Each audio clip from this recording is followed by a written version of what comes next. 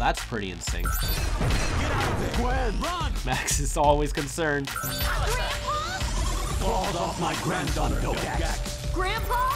Another change, Cyborg Vilgax gets hit while regular Vilgax dodges. That's twice now that regular Vilgax has been quicker than his cyborg counterpart. Starting to make me question which one is better. This is where the timeline really splits, because this didn't happen at all.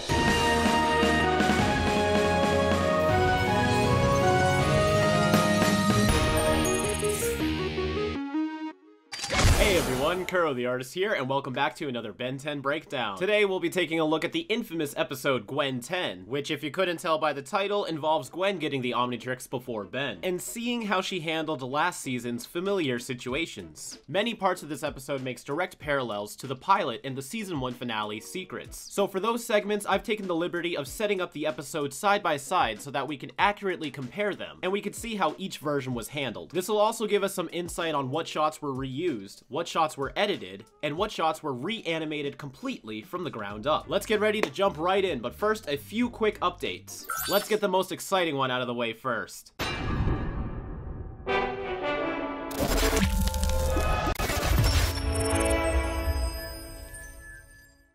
That's right, I'll be collaborating with the Watchtower database for a video coming out this month on the 28th. So if you guys are into the DC animated universe, or just want to make sure that you don't miss out on this collab, go subscribe to the Watchtower database and show them some love.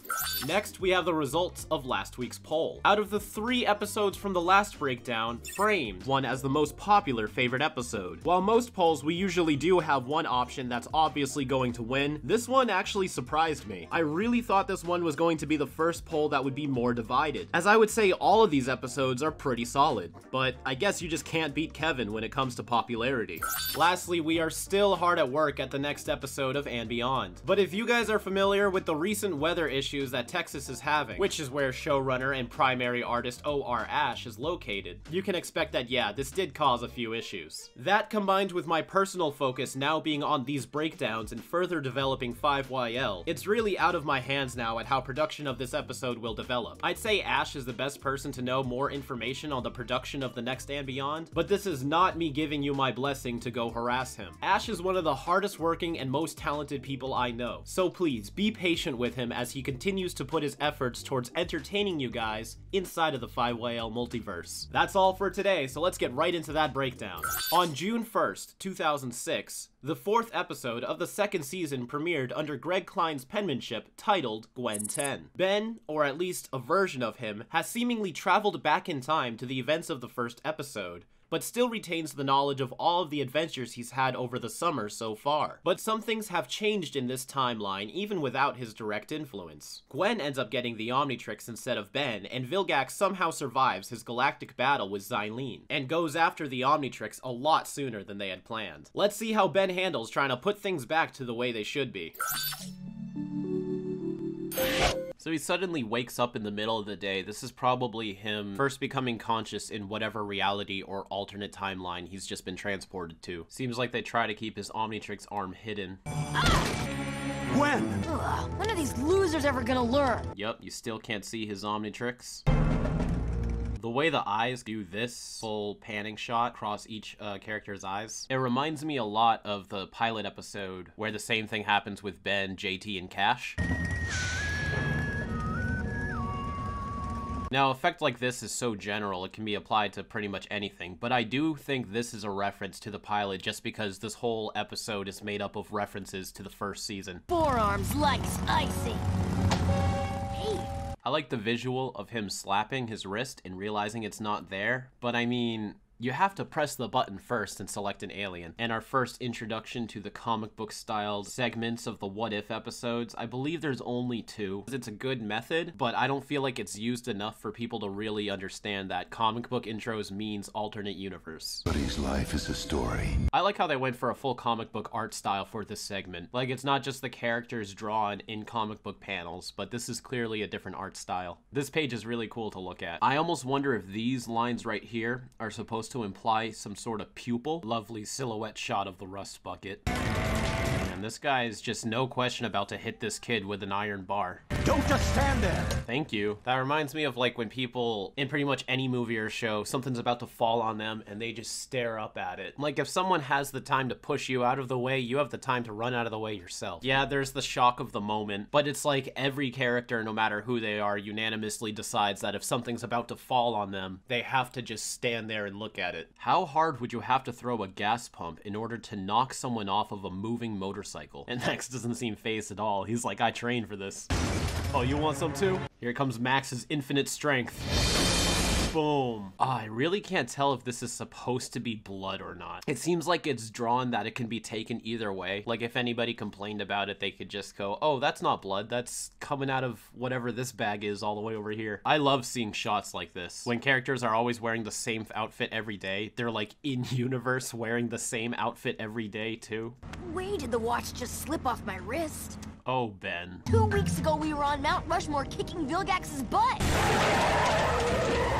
You okay? Yeah, yeah. Uh, just dodged a skunk on the road. Oh, no, see, that's way too direct for me. If he mentions Vilgax and Mount Rushmore, Max should just come clean right off the bat. He's too tied to keeping those secrets. Like, imagine that, like, Ben just says that and Max is like, alright, we got some shit to figure out. I actually think that would have made this episode more amazing. Having all three to work together to try to figure out what happened, I wouldn't say I'd change it because it would improve the episode, but that's just something I would have liked to see. Alright, I got the episodes side by side to compare. So Gwen 10 skips the shot where Vilgax's ship damages Xylene's. So the droid scene does have another change to it. It does start off with them talking about the hull damage percentage, but the pilot one mentions the weapon system is still operational, while the Gwen 10 version talks about them losing power and Vilgax wants them to find them more. Hull damage 20%. System still operational. Find me more. I have come too far to be destroyed. And although Ben's presence is changing events down on Earth, he's had no effect on the space battles so far, yet there's already changes happening here too. So this shows that events are going to play out differently regardless of whether or not Ben was there. They initiated self-destruction mode. That's new. This didn't happen the same way at all. Especially since Vilgax just stands back up. This is the same. That's Vilgax? Only the worst alien in the whole entire universe. Again, Ben just blatantly talking about Vilgax with Max there. Max, come on, just just open up to him. Also, look how big the Rust Bucket's window is compared to the pilot. And as their roles are kind of reversed in this episode, so is their seating. I've gone back in time. That's why I'm not wearing the Omnitrix. Pretty good theory. But what would have happened to the Ben that was already in this timeline? Unless he did it mentally. Some super high-tech weapon thing. Um, We- weapon? Max, come on. No one's buying it anymore. The watch should be right down. Uh. I'm all for this, but I wish they showed why Gwen was out there. It won't come off. Well, it's way too big for you, shrimp. A nice hint that the Omnitrix can change its size. Hand it over. More like a trained seal. There's a lot of strong poses in this animation. It seems like the same person who boarded this scene might have also boarded the scene with Heatblast and Secrets. That used a lot of very, like, strong and exaggerated poses too. I like it, it fits for this art style. I'm on fire. You know, as much as I like Kevin voicing his aliens, I'm glad they got different actresses for Gwen's aliens. Not that there really would have been a problem with Megan voicing the aliens, because Ben's aliens get a wide variety of voices. It is fair that Gwen's do as well. Yeah, there's the same crackling pattern uh, with Heatblast from that secret scene. But that's more of an animation thing than a storyboarding thing. You could start a forest fire. She's so casual with it. Like a month to learn how to do that with Heatblast. Even figuring that out in a month is pretty impressive. Unless some sort of pyro mathematics get implemented into your Pyronite brain whenever you transform. I can't imagine what you would need to do to be able to spell out your name in fireworks in the sky. Not to get too sidetracked, but it always seemed to me that Heatblast also had the ability to manipulate his fire, very similar to how Alien Force Gwen manipulates her mana, because he has made solid shapes and stuff before, which is like acceptable. But spelling your name, maybe if they trained with Heat Blast a little bit more, he can make like fire swords or fire shields and stuff. This is the same. This isn't funny. People are very divided on this design for Gwen. What do you guys think? Do you like the fact that Galvans have hair or no? Comment below, I'm actually curious. Logistically, I kinda don't dig the hair, but I do think it looks fine on this design. So I can go either way. How do you guys feel about it? We're practically seeing this shot of the hand extending here from two different angles. In the pilot, the reveal is a bit more dramatic, but it's more or less the same in Gwen 10. Gwen 10, they assume you probably saw a lot of this stuff before, so the iconic scenes, while are referenced, are shorter. The trees are different though, so perhaps it landed in a different area. In the pilot, it lands where the Omnitrix landed, so it was first sent there to try to retrieve the device. And coincidentally, there is an explosion that lines up in both timelines. But while in the pilot, it was the droid destroying the evidence of the Omnitrix's crash, in Gwen 10, we skip all of that and cut straight to the attack at Yosemite Park. So Ben and Gwen's downtime, Grandpa Max investigating, the whole Wildmutt droid fight, all of that gets skipped, while Gwen's all the way over fighting the droid as Diamondhead. But let's not skip ahead too far. This is a very small change, but it's the first one I actually noticed as a kid, so I just want to point it out for my own sake. When the droid scans the Diamondheads, uh, Ben's lights up green, and then each ticker comes in at a separate time, whereas in Gwen 10 it sort of zeroes in on the device. It's pretty much the same, just a different display. The pilot seems a little bit more polished and has a more active screen. Respawns pretty much the same way in both versions, throws the guy down and blasts him back.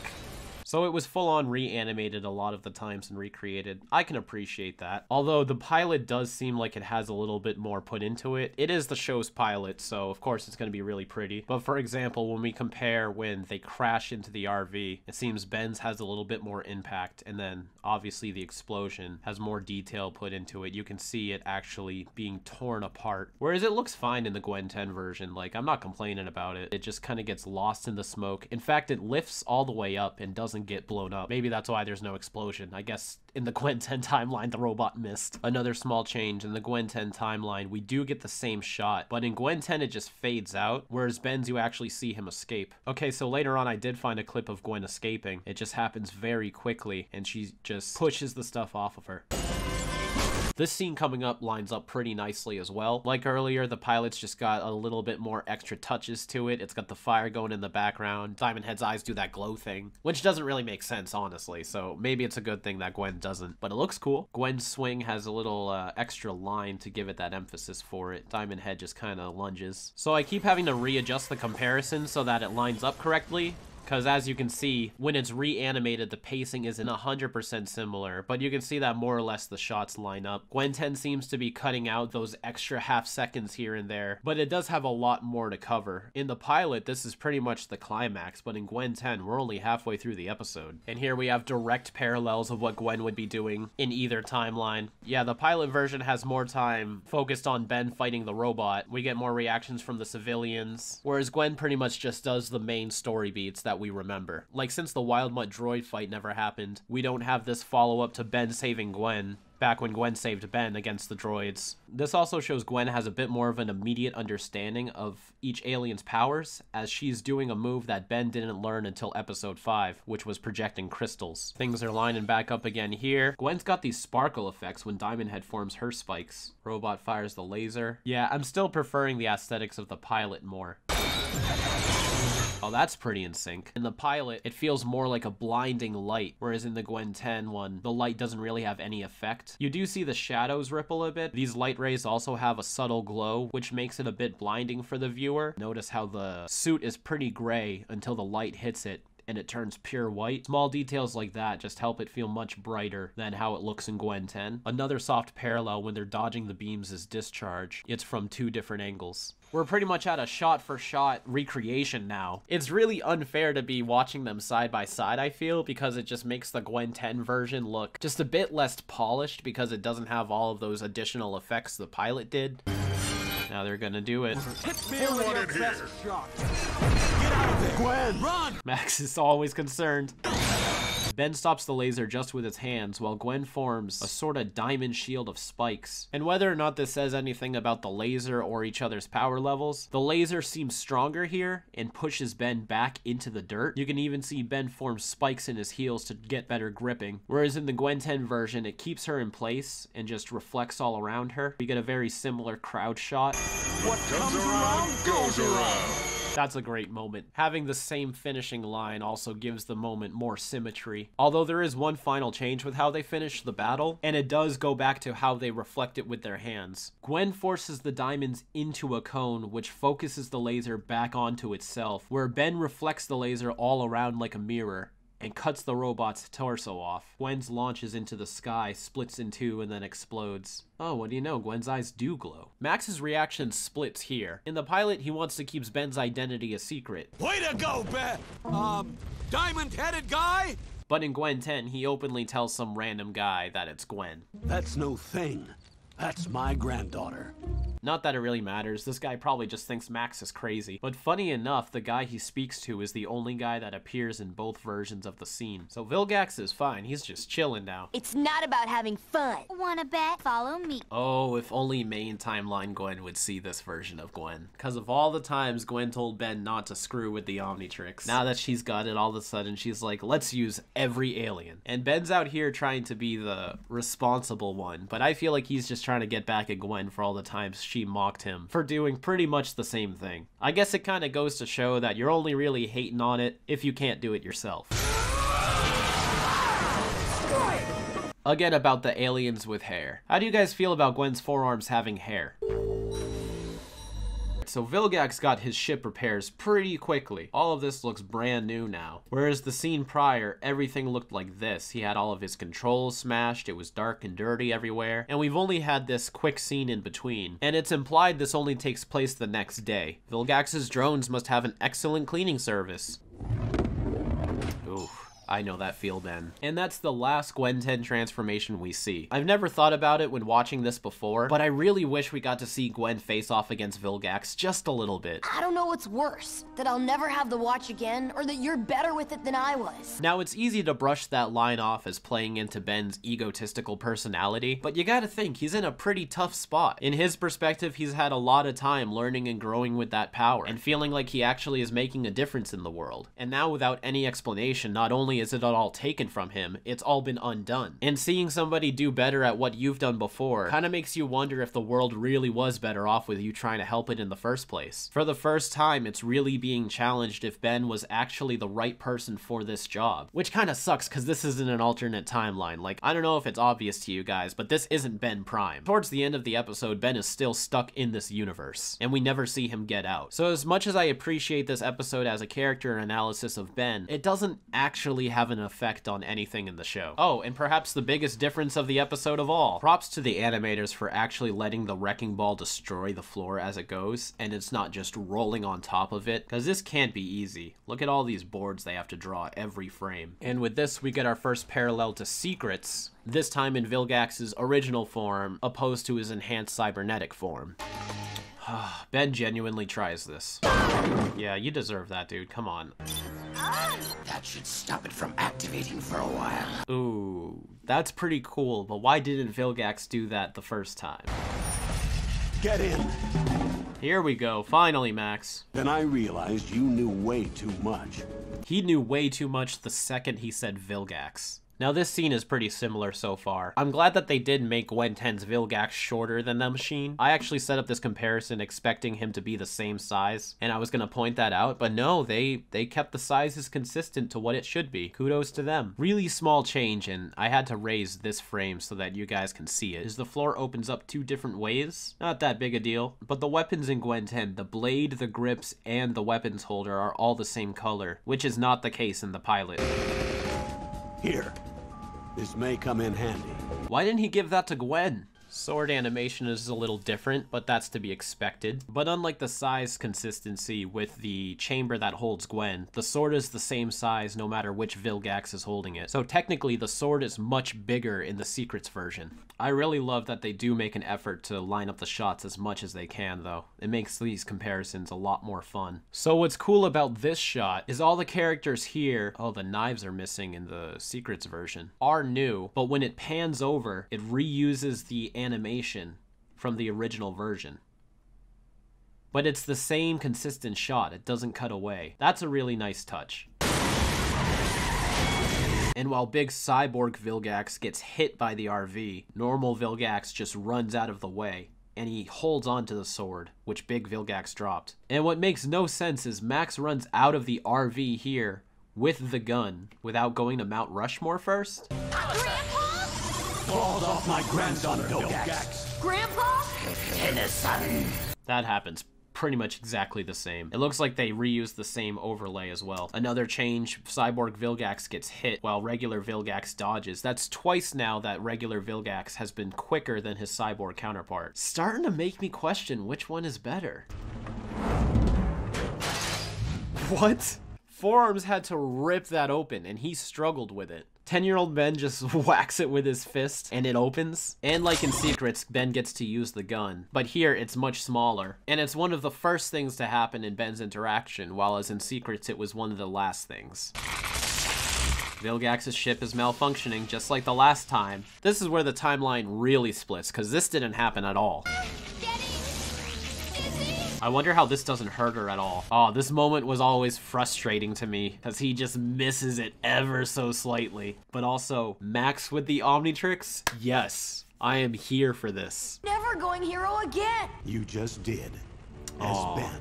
How sweet. So it's a little disappointing that the only alien we get to see Grandpa use has no difference than Ben's. I guess he looks a little heftier, but I don't know if that's just me thinking that. But still, it's cool. We get to see Max use an alien. That's that's great. And he merges with the rust bucket, Max's true love.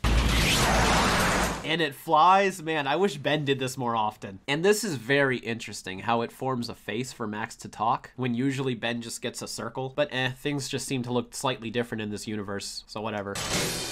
And then alley-oop. The de-emerge from the rust bucket looks pretty good. And that's it.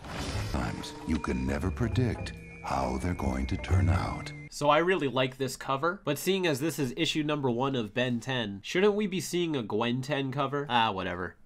Man, what an episode, right? Now, as much as I love this episode purely because of all the callbacks and parallels to the first season, I do feel like the story was just a bit too fan servicey to really hold up as a solid episode on its own. Now, as a fan of Ben 10, this is great, fantastic. I can't imagine anyone disliking this episode, but obviously this is not one you can just jump right into and think, hmm, yeah, I get it. It also feels a bit strange we're getting an episode like this pretty early in the series' run. We're not even halfway through season 2 yet, and we're already doing the what ifs and the revisiting the pilot. I mean, I'm all for it. I think if they had this episode ready to go, they shouldn't have waited any longer, but this seems like something that would have aired during like late season 4, just as it kind of has that like legacy feel to it. Like usually these kinds of episodes are meant to go back and appreciate the early days of Ben 10, but this is still kind of the early days of Ben 10, and this show isn't about time travel and dimensions yet. So as much as I like it, I'm just saying it's pretty weird to see something like this very early. But nonetheless, I'm going to give the plot a 3. I did want to score it higher because I felt like it was very creative the way that they would retell these events. It's not just a what if Gwen got the Omnitrix instead of Ben. It's a Ben is transported to an alternate universe where he hasn't gotten the Omnitrix yet and Gwen gets it. So it's like a what if but with a twist where like the main continuity also has an effect on this universe. But there are a fair amount of plot holes like where Max got the weapon from. How could Gwen use the Omnitrix all night but not realize it needs to recharge in the bowling alley? What happened to the drones in the park? And things that aren't exactly plot holes but still are distracting questions that don't really benefit from keeping it a mystery. Like how did Ben even get traveled back in time in the first place? Why did Vilgax survive the ship explosion this time? Seriously, where did Max get that gun? Did Ben ever find his way home or is he trapped in that universe forever? Without the interference of Kevin, is he gonna get sent to the null void and by this is the long chain reaction of the rooters going to happen? Alright, that one's not fair. We're like four series ahead, but still. It's a good plot when you're watching it. It flows very smoothly. I think that's largely in part to the writer Greg Klein. But once the ride is over, you sit back and go,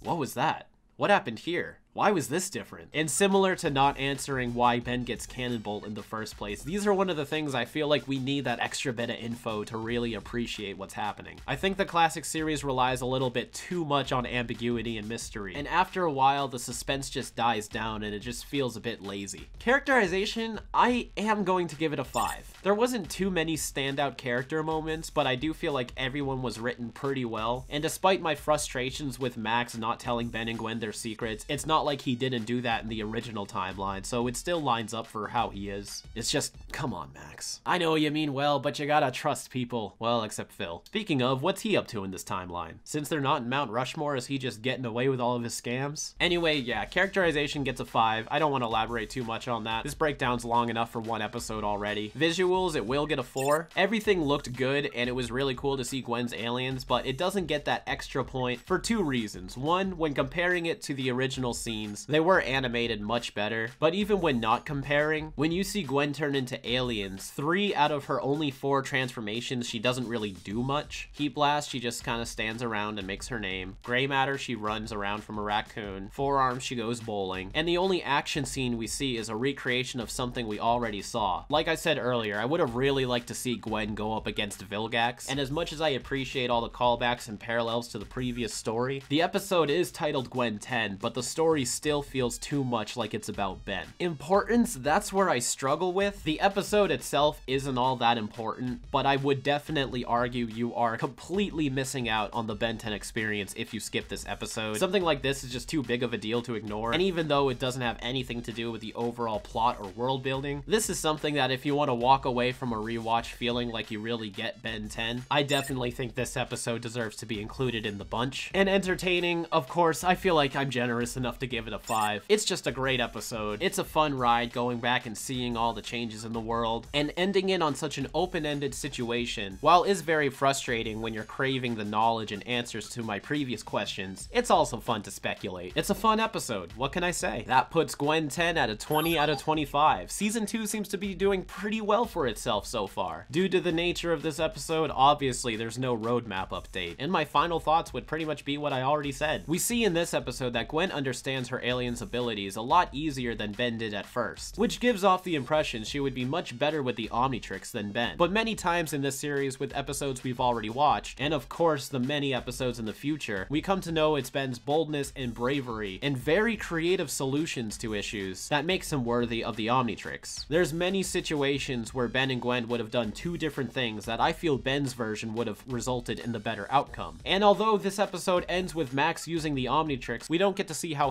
his heroics would play out too much. But we do know a lot about his character. So for this week's poll, I'm asking you this. Who do you think, after many years of experience and training, assuming they all have a fair amount of time to use the Omnitrix, and go through more or less the same chain of events, who do you think would put the Omnitrix to best use? Ben, Gwen, or Max. This poll will be up about a day after this episode drops, so if you're watching this breakdown the day it comes out, don't forget to come back tomorrow to cast your vote. Okay, so real quick, I want to bring up something that I didn't notice until I was editing. Though drones that would have fought Wildmutt didn't just disappear, they were actually never fired. You can see the two drones are still attached to the robot's shoulders during the battle with Diamondhead. So my previous statement about them disappearing was a plot hole, well, that was just plain wrong. Sorry about that. I also want to thank you guys for supporting these breakdowns and giving me such a strong positive reaction of people wanting more. It means a lot to me that people are interested in the thoughts I have on my favorite series, and I'm glad that I get to share it with you guys in an entertaining way. New breakdowns will come out every Friday until we get through all four series, and yes, I'm also doing the movies. But until then, you can stay up to date with everything that we do on our social medias and join the Discord for some fun community interaction. You can also join the Patreon for $1 a month for exclusive weekly updates on both and Beyond, 5YL, and everything that we're working on currently. I hope you guys have a great rest of your week, and I'll see you next Friday. But until then,